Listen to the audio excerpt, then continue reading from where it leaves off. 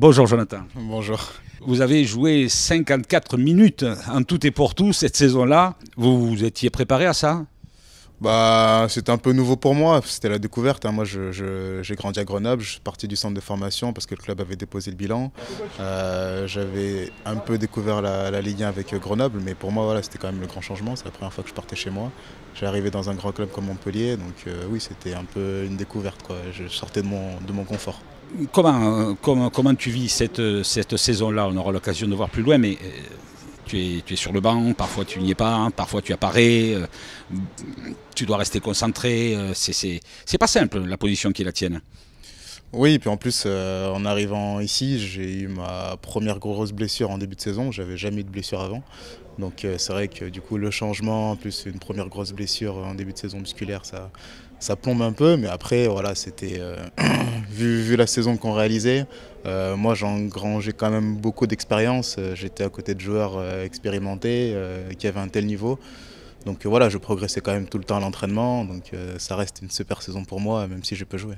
Alors chronologiquement, quand on va arriver au tout début du mois de mars 2012 et que se profile à l'horizon la 26e journée de championnat, c'est là que nous allons rentrer de plein pied dans cet événement pour toi, dans l'événement.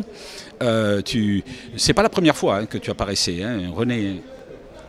Non, c'est pas la première fois. Après, c'est vrai qu'à ce match-là, il y avait pas mal d'absents, notamment Olivier qui était, qui était, je crois, suspendu à ce match-là. Mais bon, oui, j'étais sur le banc, mais je ne m'attendais pas forcément à rentrer quand même. Voilà, parce que Jonathan va faire son apparition au stade Gaston Gérard à Dijon. Nous sommes à cet instant-là premier du championnat. On ne le saura plus, mais bon, nous aurons comme point de retard sur le Paris Saint-Germain à l'issue de ce match-là à Dijon. Et à la 66e minute, euh, Jonathan, euh, René va faire appel à toi pour remplacer Soulet. C'est bien ça, hein? C'est ça. Alors ça fait à, la 66e minute, c'est c'est un cadeau du ciel pour toi parce que pour le coup, tu vas jouer 24 minutes. 24 minutes et là. Euh, c'est vrai que voilà, j'avais plutôt l'habitude de jouer des petits bouts de match, 5 euh, minutes, 10 minutes. Là, en rentrant à 25 minutes de la fin du match, bon, c'est vrai que j'avais l'occasion de, montrer un peu plus, d'avoir un peu plus euh, le temps de, prouver aussi que, j'avais ma place dans ce groupe. Et du coup, ça a été une belle opportunité que René Girard m'a offert. Alors, d'autant plus, et tu l'as dit tout à l'heure, que Olivier Giroud ne joue pas ce match. Tu vas remplacer Soulet, Camara. Et puis au moment où, au, moment où tu le remplaces, euh, il y a but pour Dijon, hein, de, de, Kakuta, qui sera plus tard euh, le milieu de terrain que l'on connaît du Racing Club de Lens. Donc euh, tu as enfin, tout pour toi et, et, l'équipe tout contre elle. Hein. Ouais, c'était pas, c'était pas non plus la rentrée la plus facile. On, jouait à l'extérieur, c'était un match difficile, on avait du mal à, à, produire notre jeu, à imposer notre rythme. Donc ouais, je me souviens d'un match vraiment, vraiment difficile. Et puis, il va se passer ce qu'il va se passer, euh, forcément inoubliable pour toi, puisque euh, le MHSC va égaliser à la 88e minute. Il y aura un partout à l'issue de ce match, mais l'égalisation signée, bien sûr, Jonathan. Est-ce que tu te souviens? J'ai déjà la réponse, mais cette action-là, c'est... Oui, je m'en souviens et je l'oublierai jamais. C'est vrai que c'est gravé dans, dans ma mémoire. Euh, soit en coup franc excentré, voilà, c'est un peu improbable déjà que, que, je marque de la tête parce que je n'ai jamais été un grand joueur de tête.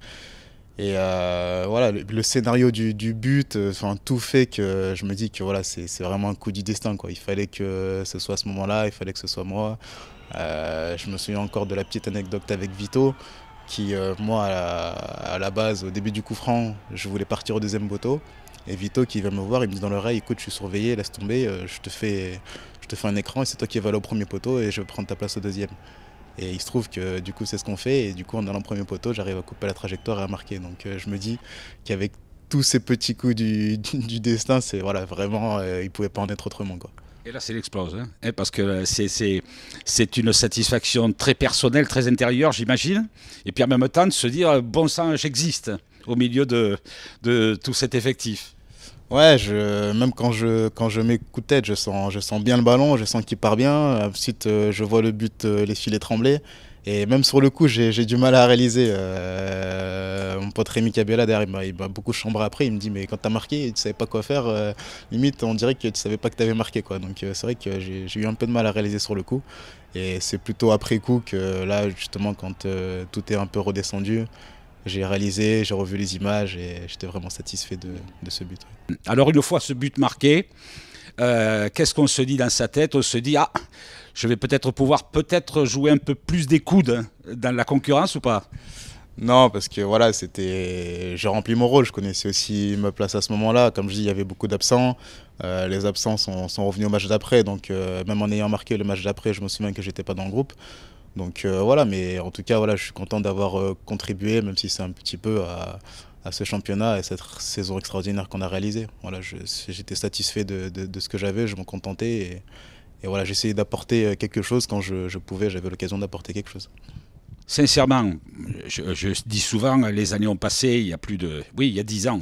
Mais euh, au fond de soi, est-ce que tu te dis, euh, il va falloir sans arrêt, sans arrêt que je prouve René à son équipe et, et je ne suis pas dans le cadre, je ne suis pas sur la photo?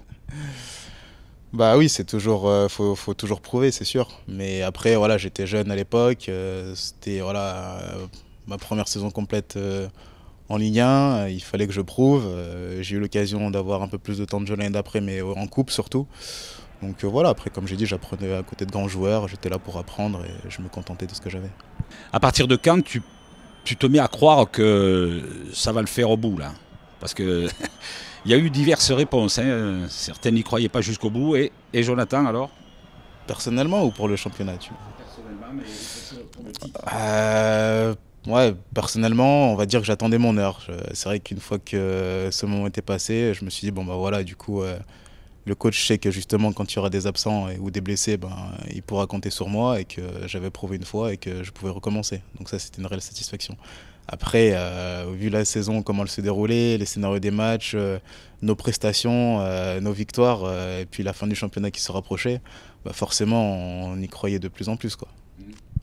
Est-ce que tu peux dire qu'on apprend plus, on emmagasine plus d'expérience dans le cadre très particulier d'une équipe qui, qui, est sous pression, sous tension et qui file droit vers le nirvana, vers le Graal? Euh, Est-ce que, ça, est que ça fait murer plus vite ça? Je pense que toutes les expériences sont bonnes à prendre. J'ai vécu deux premières années pro qui étaient difficiles, où on jouait le maintien et on est descendu. J'en vis une troisième où je suis champion de France. Euh, toutes les expériences bonnes à prendre, c'est des expériences différentes. Euh, ça fait rentrer dans, le grand bain, c'est sûr, euh, tout de suite. Mais voilà, après, c'est surtout, je pense, les joueurs qui sont à côté de nous aussi qui, nous apportent beaucoup et qui ont plus d'expérience. Et nous, on avait la chance d'avoir un groupe très homogène. On avait des anciens qui, voilà, qui, étaient très à l'écoute et qui nous couvaient, qui nous donnaient beaucoup, beaucoup de conseils. je pense à des Cyril Jeunechamp, Romain Pitot.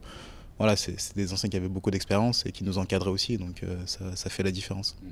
Ce but à Dijon de Jonathan Tinan, ça restera pour l'éternité. Ton souvenir, c'est à toi ce but. Bah, c'est ça, je suis, je suis, content d'avoir euh, ce petit truc. C'est vrai que c'est pas grand chose, mais, mais je suis content de l'avoir quand même. J'ai pas beaucoup contribué voilà, à ce titre de champion de France, mais au moins j'ai ce petit truc là et ça reste gravé en moi et c'est un, un, très très beau souvenir. Et ton petit trophée, parce que tu es champion de France pour le coup oui, oui, j'ai la chance aussi d'avoir mon, petit trophée. Et ça reste, euh, je pense, euh, le Graal aussi de ma carrière. C'était le, 3 mars 2012 au stade Gaston Gérard, le but égalisateur à Dijon de Jonathan. Merci infiniment Jonathan d'avoir euh, réveillé de bons souvenirs, surtout des bons souvenirs pour toi aussi. Avec plaisir, c'est toujours un plaisir de revenir ici, de reparler de ça. Et voilà, je suis merci d'avoir pensé à moi et de, et de m'avoir fait revenir ici au centre d'entraînement. Ça fait plaisir de, remettre les pieds ici. Il est dans les stats pour l'histoire et pour l'éternité. Jonathan Tinan.